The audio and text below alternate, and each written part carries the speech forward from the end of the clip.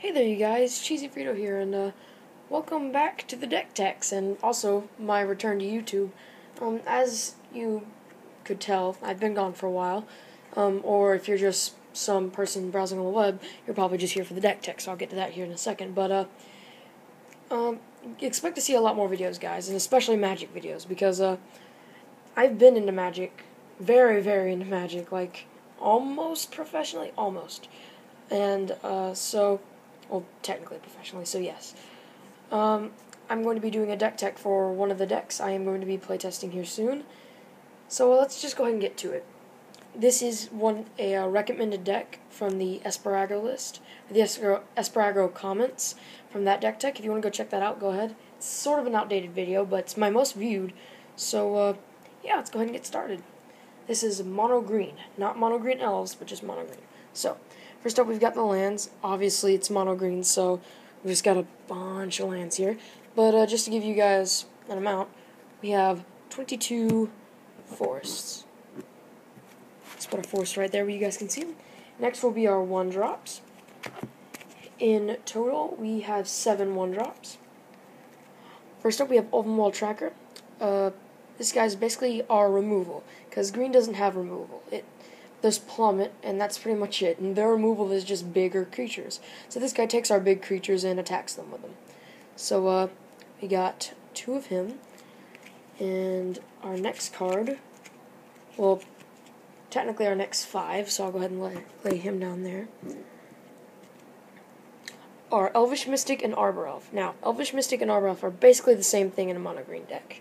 These guys add green, they're basically Llanowar Elves, and these guys untap forests. So in our deck, they have the same purpose. Just mana dorks that help us get mana very fast. Now we're on to our two drops. I believe we have a big amount of these. Let's see here, we've got nine two drops. We got a pretty good amount of them. Let's go ahead and start out with uh, Gyre Sage here. Uh, Gyre Sage is a very fast ramping creature. Sadly, she cannot add green the second she comes out, but Usually on third turn, we can start dropping a ton of creatures out. Uh, she may not evolve from them, but uh, she'll get pretty big pretty fast. And if we don't add her for mana, we could use uh, Spell We'll see uh, later in here just to make her huge and swing out, or make her huge and just tap for a bunch of mana. I'll show that combo here. And uh, we've got three of her, three Gyre Sages. She's a rare from Gatecrash, in case any of you are wondering. Alright, uh, next up we have three copies of Scavenging Ooze. This is the foil promo. Um, this guy is really nice if they can end up killing our creatures, or if we end up killing theirs. He gains us life and puts us back in the top of the game, and he gets huge very fast. So yeah, we're running three of him for very, very heavy aggro purposes. Next up, we have Kalonian Tusker. Oh, we got three of this guy? Yeah, we got three of this guy. Um, he's two for a 3-3. Uh, what can I say? Very cheap card, uh, very efficient card. I'm thinking about replacing this guy with Strangleroot Geist soon, but we'll see how he does in playtesting. Alright, so that is our two drops, and now we're on to the three drops. I don't think we got as many of these. Um, we have eight, so close enough. Um, we have one Witchstalker. Yeah, just the lonely one. Uh, he's very nice from M14, so he's a newer card. I'll read him out to you. Um, 3 for 3 3 hexproof. Um, whenever they cast a blue or black spell during our turn, he gets bigger. So, uh, we really, really need this guy just in case they start to Doomblade some stuff, and this guy can get big. But we're only running one copy, so, because we don't need him too much, but he is very, very efficient. So we got one copy of him. And I'm thinking about adding more. I just need more. Right, next up, we've got Predator Ooze. We have, yeah, three of this guy. Um, he is very, very nice. Um, if anything, he can block and just kill a bunch of stuff. But he really wants to be attacking. As you can see, he gets bigger for each attack. Not for combat damage, but just for attack. And then if he can kill something, because he's indestructible, um, he gets even better. So yeah, we got three of him. Uh, next up, we have Champion of Lambholt. We have a playset. Um, she gets bigger for every creature, which is very, very nice in a ramp deck. A very fast ramp deck and it makes it where their things can't block. And if they can't chump block, then this deck just is a powerhouse. It just stomps right through them. So she is very, very nice in the deck. I'm thinking about taking one of her out for Witchstalker, but I'm not sure yet. I have to play test with Witchstalker first. Right, next up, we have five four drops. Um, we have Increasing Savagery. This is the Gyre Sage combo. Put five counters on her and her for like five or six mana. Pretty nice. Um, and his flashback gets them 10, so that's very, very efficient as well. This guy wins you the game. He makes your Predator ooze huge, he makes everything huge, he makes everything a big deal, even if it's just a little Kalonian Tusker. We've got three of these guys, because they're pretty, they're pretty big deal. I was thinking about running four, but I'm not sure what I'd take out for the fourth. Right, next up, we are running two Yeva Nature's Herald. Whoops, uh, my camera dropped there. Let me just raise that up a bit. Alright, put up supports. I'm using a uh, deck builder's toolkit as the support because uh, my what I usually use to hold this up, um, I'm, one of my friends are using it, so. Alright, back to Yeva.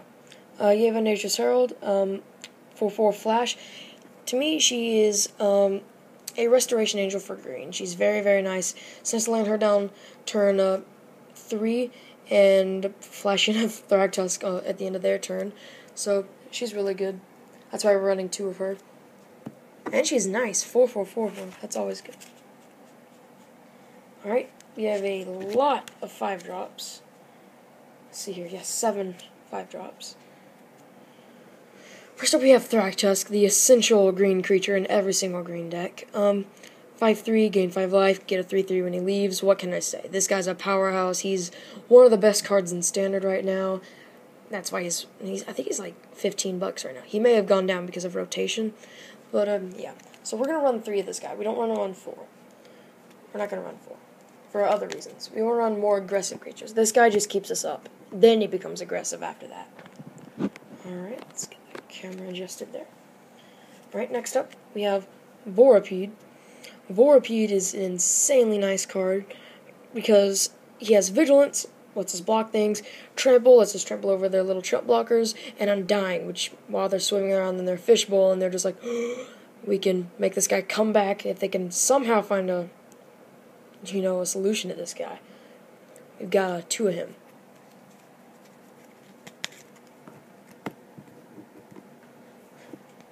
And last five drop, we have Wolfir Silverheart. Uh, we're running two of this guy. Um, this guy makes everything, even a little uh, elf, a giant 5-5, and he's an 8-8. I see this guy's an 8-8 for 5, and whatever you want gets a Titanic growth. Very, very nice card. Probably one of the better cards in here. Alright, and our last two cards, uh, one's a 7 drop, one's an 8 drop. I'll just view them together. Uh, first, we have Elderscale Wurm. Um, this guy's straightforward and simple. He's Platinum Angel. He says you can't lose and they can't win. This guy is just your life total is always seven. There's seven sevens there if you can't see that. It's one, two, three, four, five, six, seven sevens. Or if you want to be all technical, that's a seventh seven, but that's not a seven, that's a four. Um, this guy's a good powerhouse. We can ramp up to him pretty quickly. I'd, I'd imagine getting him out turn four or five. So he's pretty nice. Got a copy of him in there. And our last card, can anyone guess what it is? 8 drop. Craterhoof himself. Um, he's he's pretty awesome. I mean, Craterhoof is a legend in green. He is insane. If he hits the board, he is going to dominate. By himself, he's nothing. He's a 6-6 with trample and haste. But when you have elves out and champions of Lambholt, this guy just says, I win the game. That's what, that's what I should say. It should be a winning the game behemoth. Alright, well, there you have it. This is a mono green. I'm going to put the deck list down in the description below so you guys can build this deck yourselves. And uh, you guys don't have to, after you watch the video, go back through the video and add the cards. So, uh, yeah, that's pretty much it. Um, comment in the comment in the comment section uh, below to tell me what deck you would like to see next time, and um, it could be modern. I would really like standard decks, but modern's okay. I can build some modern decks, usually for fun modern decks. Like uh, I have a Grixis modern deck. It's pretty nice. Um, so yeah, there you have it. The uh, full 60 card mono green deck in mono green sleeves. Alright guys, so that's all I have for right now. Um, expect more deck tech videos very, very soon. We may have more than one deck tech. Well, I think I can pretty much guarantee more than one deck tech video today. So, I will look forward to making our next deck tech video and the playtesting of this deck, which could soon come after this video. Alright, see you guys later.